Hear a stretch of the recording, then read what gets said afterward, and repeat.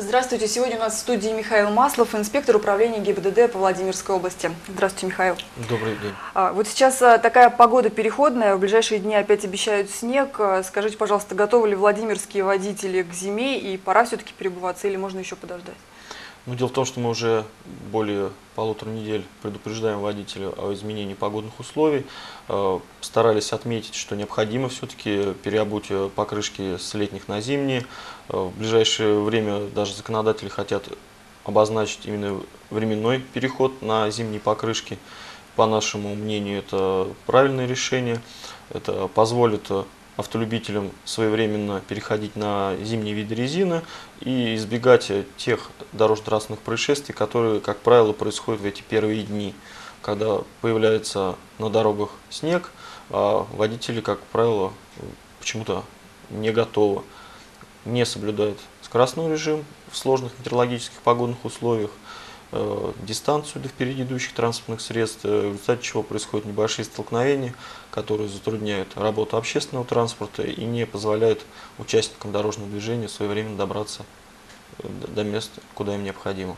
Вот из-за этого заметно увеличилось количество аварий в последнее время?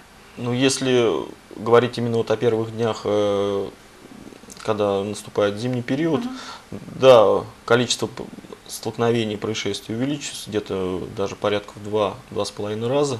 Из-за этого сотрудники госинспекции ведут работу почти в авральном режиме, и э, движение затрудняется, и проблемы действительно возникают, и недовольство у граждан, хотя все эти проблемы идут от самих автолюбителей, которые не соблюдают ПДД. Скоро выпадет снег, и понятно, что если а, машины припаркованные у обочин не убирать, то а, убирать дороги будет проблематично. Городские власти с госавтоинспекцией как-то согласовывают вот схему эвакуации, может быть, машин с каких-то главных улиц?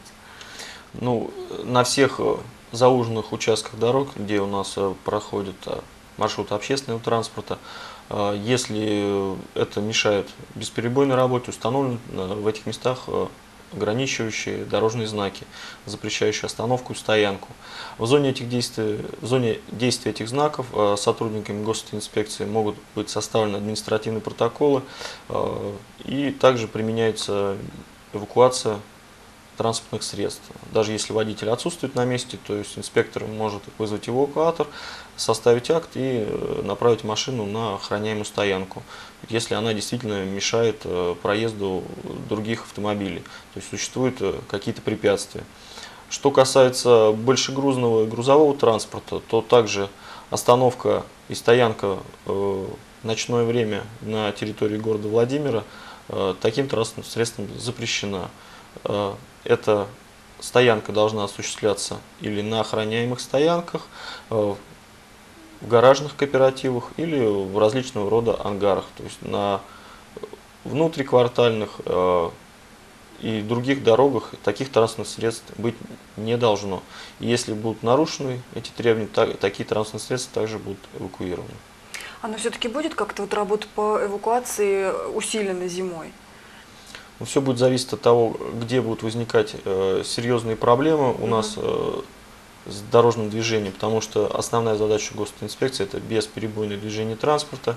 И если действительно проблемы существуют и они будут достаточно глобальные, то в рамках действующего законодательства мы будем применять все санкции, которые только возможны. А вообще вот штрафы за неправильную парковку еще летом увеличились, да? А, зам- Заметно, что нарушений в этом плане стало меньше, или пока у нас не появится дополнительных стоянок, в общем-то, какого-то кардинальных изменений не будет? Ну, многие водители уже ощутили на себе новые санкции.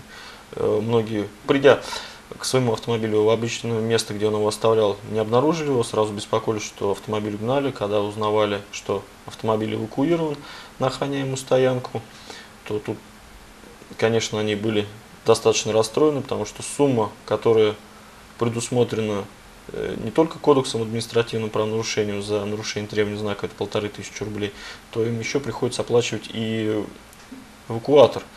Поэтому в дальнейшем, конечно, желание э, нарушать, оставлять свою машину в зоне действия знака или в нарушении правил остановки и стоянки у многих отпадает. Ежедневно на территории области э, порядка 10 15 автомобилей эвакуируются за нарушение данного вида. И эту работу мы проводим на постоянной основе. Э, определенные наработки и результаты, конечно, уже есть, и, но зачастую все зависит от того, э, есть ли инспектор на этом месте. Как инспектор приезжает, э, машины сразу исчезают или эвакуируются. Угу. Граждане понимают, что здесь останавливаться нельзя. Хотя все прекрасно знают правила дорожного движения, но культура по-прежнему достаточно на низком уровне. Ну и, конечно, существуют проблемы и парковочных мест. Э, В это касается больше больших районных гла- городов и нашего областного центра. Ну, вот во Владимире эта работа ведется все-таки в основном в центре или спальные районы как-то тоже Нет, затрагивают? Ну, стараемся больше работать э, в центральных, э, на, магис- на- на центральных магистральных улицах города для того, чтобы осуществить бесперебойную работу транспорта, чтобы это не создавало каких-то проблем для других участников дорожного движения, потому что все эти э, места, где происходит заужение проезжей части, в итоге приводят к небольшим столкновениям, в итоге останавливается весь поток и страдают э, тысячи автолюбителей и простых жителей города. Вот сейчас в городе э, идет масштабная социальная кампания, направленная на пешеходов. Расскажите, пожалуйста, что это такое? С начала ноября текущего года на территории Российской Федерации стартовала социальная кампания «Пешеходный переход». Э, Цель ее – это соблюдение правил дорожного движения как пешеходами, так и водителями транспортных средств при проезде пешеходных переходов, особенно нерегулируемых. Э, Именно большое количество дорожно-транспортных происшествий происходит у нас именно на нерегулируемых пешеходных переходах. Ежедневно на территории области, области порядка одного-двух происшествий происходит, в том числе и с тяжкими последствиями, когда пешеходы погибают. И эта проблема существует на территории всей страны. Э, Поэтому определенная работа проводится самими пешеходами, то есть им рассказываются их э, права, обязанности правила безопасного перехода, таких переходов. И акцент сделан не только на подрастающее поколение, то есть на детей, но и на другие категории участников дорожного движения. Также работа проводится и с водителями для того, чтобы теми санкциями, которыми мы располагаем, э, заставить соблюдать правила дорожного движения и уважать, именно уважать пешеходов. А сейчас э, очень часто происходит так, что пешеходы пренебрежительно относятся к автолюбителям, а автолюбители, в свою очередь, не любят пешеходов. Э, Очень часто возникают э, проблемы такого плана, что подростки или уже люди в возрасте, переходя проезжую часть, разговаривают по телефону, э, в ушах находятся наушники, то есть когда вых- выходят на пешеходный переход по сторонам, не смотрят, все это приводит к дорожно-транспортным происшествиям. И когда начинаем разбираться, ну почему же вы так себя вели, ответы, конечно, достаточно банальные. Я думал, я на переходе, меня здесь все должны пропускать, уступать мне дорогу.